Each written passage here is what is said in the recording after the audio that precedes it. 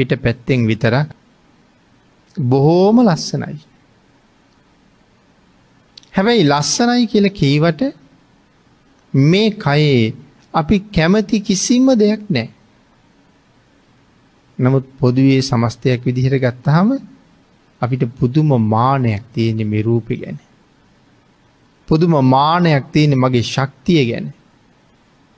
පුදුම මානයක් තියෙන මගේ හැකියාව ගැන.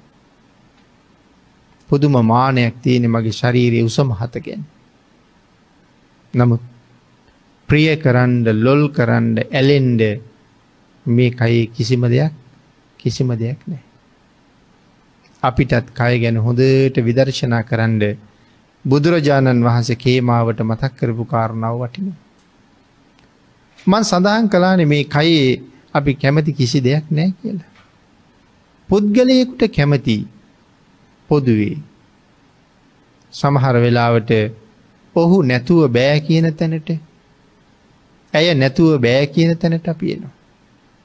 එත් තරම්ම අපි රාගයෙන් බැඳිල්ලා. නමුත් මොනවටද කැමති. හිසකෙස් වලට කැමතිත් නෑ. කෙස් කපල දුන්නොත් අරගෙන යන්න කැමතිත් නෑ. පුළුස්සන තැන හිටියොත් නහයාකුල ගන්නවා. කෑම එකේ තිබ්බොත් පිළිකුල් කරනවා. එනම් කෙස්වලට කැමතිත් නෑ. රැවුල කපල අයින් කරලා දුන්නොත් ඒකටත් කිසිීම කැමැත්තක් නෑ. බොහෝම ලස්සනට පෙනුනේ පිට පැත්තේ තියෙන හම හමයි ලස්සන. ඔය වර්ණනා කරපු ලස්ස ඔක්කොම හම උඩ තියෙන්නේ. හැබැයි අඟලක් දෙකක් පමණ හමක් ගලවලා දුන්නොත් අරංගිහිල්ල තියාගන්න කියලා හංකෑල්ල ඒක ගන්නෙත් නෑ. මස් කෑල්ලක් කපල දුන්නොත් ඒක ගෙනියන්නෙත් නෑ.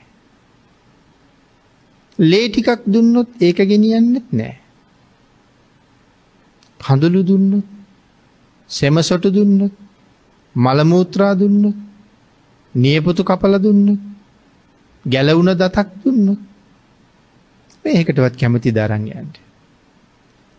එකක්වත් කැමති දෙගෙන හිල්ලා පරිස්සං කරලා තමන්ගේ කාමරීතියාගන්ට. තමන්ගින් අහල බලට.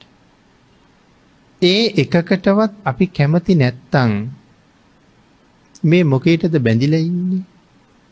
මේ කොහාටද ඇලිලා ඉන්නේ. දැන් එහෙනම් සම්පූර්ණ විදර්ශනාවක් කරන්න බැරිද. යන්තන් කැමති පිට පැත්තෙන් වැහිල තියෙන හමට. හැබැයි අභ්‍යන්තරයේ තියෙන කිසිම දේකට කැමැත්තක් කිසිම දේකට කැමැත්තක් නෑ. බුදුරජාණන් වහස කේමට මතක් කළා. කේම මේ උපාදානස්කන්දයේ උඩින් සෙම සොටු කඹ කබ කඳුළු ගලනු. ඒව උඩට ගලනවා ඇතුළි තියෙනවා.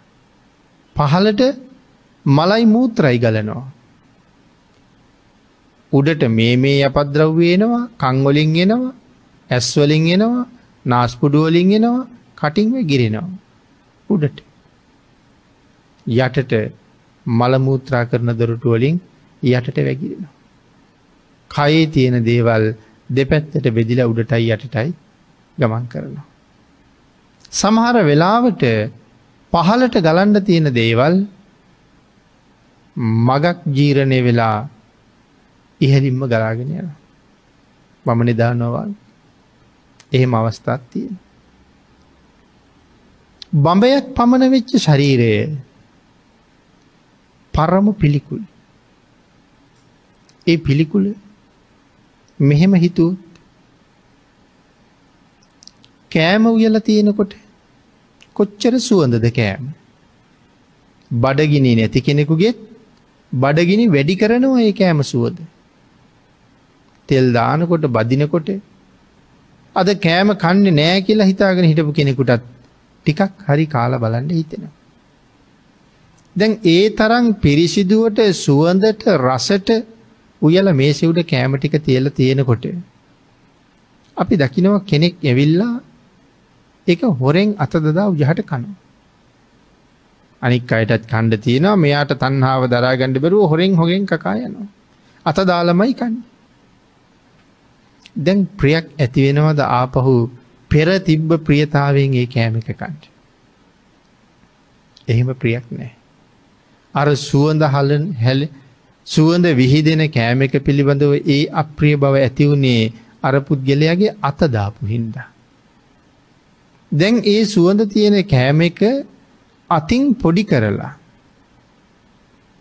කටට අරගත්තට පස්සේ. මොකහිට දාගත්තට පස්සේ. නැවත ආපහු අතට අරං දුන්නොත් කවුරුවත් කැමතිද අච්චර රසයි සුවඳයි තිබුණ. කෙලත් එක්ක මිශ්‍ර කලාට පස්සේ අච්චරවත් කැමතිනේ. දැ බලන්නකො මේසෙ උඩ තිබුණ ටික මුකහෙට ගමන් කලාට පස්සේ මොන්න තරං අකමැත්තක් අපිට ඇති කලාද කියලා. එතකොට ආහාර මාර්ගයේ දිගිය ආමාශය දක්වා ගමන් කරනවා. උගුරේ මගට ගියපු දේත් ආපහු ගණ්ඩ පුළුවන්. සමහරය එහෙමත් අනුභව කරනවා. ගොඩාක් රස දේවල් මගට ගිල්ලල ආය ගන්න. ආය අරගෙන හපනවා. හැපල ආය ගිලිනවා. නමුත් එහෙම ගත්ත එකක් මේස උඩ දැම්බුත් ගත්තකම. අපි ඒ කෑම මේසෙන් නැගිටලා යයි සමහර කෙනෙ.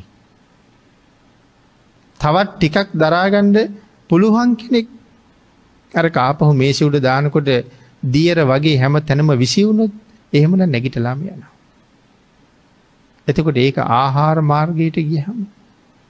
නොඒක් විපර්යාසයන්ට ලක්වෙලා ලක්වෙලා ලක්වෙලා පැසවලා පැසවලා ශරීරයට අවශ්‍ය කොටස්ටික අරගෙන ඊට පස්සේ අන්ත්‍රදිගේ ක්‍රමක්‍රමයෙන් ක්‍රමක්‍රමයෙන් පහලට කරන. මහාන්ත්‍රයේ අග කෙරවල අඟල් දහයක් විතර ප්‍රමාණි ඔය පහලට ගලාගෙන ආහාර ඔක්කොම එකතු වෙනවා. සමහර වෙලාවට එකතු වෙලා දවසක් විතර තියෙනවා.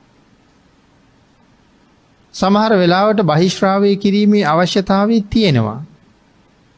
නමුත් සුදුසු තැනක් සුදුසු පරිසරයක් හම්බුනේ නැතිහින්ද අපි බහිශ්‍රාවය කරන්න නැතුව අමාරුවෙන් නමුත් ඉවසගැනන්න. ටික වෙලාවක් ගියහම ඒ අවශ්‍යතාවේ නැතුව යනවා. නමුත් අන්ත්‍රවලදි ඒ දියර ගතිය ශරීරයට උරාගෙන උරාගෙන උරාගෙන